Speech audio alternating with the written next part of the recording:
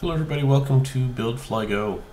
And this week we basically finished up the tail cone. There's a little bit left to do, not a ton. Um, the we're finishing uh, here. I'm finishing deburring all of the skins. There are a couple of parts that I hadn't deburred all the way, so I'm finishing that up. Finishing deburring all of the holes, and then we're going to start dimpling all of the holes. Uh, Mary's going to come out and help with some of the dimpling and we're going to rivet up most of the tail cone. We do finish the tail cone over this the following weekend, which is the next couple of days. There we go. We're dimpling everything. So these dimples are a little uh, farther from the edges than we can do with just the, the hand squeezer or the pneumatic squeezer in the yoke. So we have to use that C-frame tool.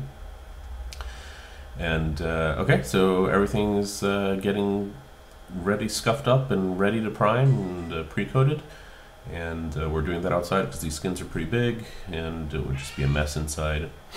Uh, we put them inside to finish drying up and you can see the can of uh, the, the primer sitting on the end of the desk there just getting ready. We're masking things off and prime prime prime. Lots of priming to do. Um, as usual I run out of primer halfway through. I'm terrible at estimating how much primer I need. And uh, cleaning things up and then we're going to start clicking things together. Yeah, the um, bulkheads got set up there and I'm starting to do the final assembly, the final, final assembly um, of the tail cone. It's really, really coming along. Um, so all the all the stringers, there's three sets of uh, J channel J channel stringers per side, um, top, bottom, and well, you got a little bit of a nighttime there. Top, bottom, um, and each of the sides. So it's a lot of rivets on, on this one. And I am under the the tail cone there, um, while Mary's on the top with the riveter, rivet gun.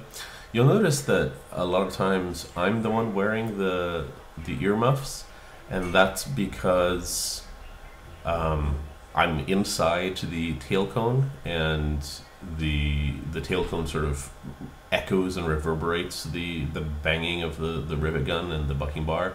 So it is incredibly loud in there, and it it actually physically hurts, right? Like you're in there and that thing goes off, and it hurts. You feel pain in your head from the sound.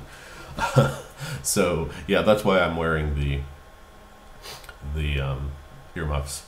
So yeah, just cleaning everything up. We noticed that there was a little burr on the longeron there that I wasn't quite happy with, that I wanted to get out. So we removed the, the longeron. It hadn't been riveted in yet, and I just um, cleaned it up a little bit, filed it just a smidge um, where, where that burr was, and then put it back in place. And now we're finishing up the rivets. You'll see we, we're doing the bottom now. Most of the clecos are gone, and yep, there we go most of the clip is gone. We're doing the sides, and we, yeah, there we go. So the next video, you'll see that we're doing the back of the tail cone, and we'll close that up on the on this coming week. All right, thanks everybody for watching. Enjoy. Go fly.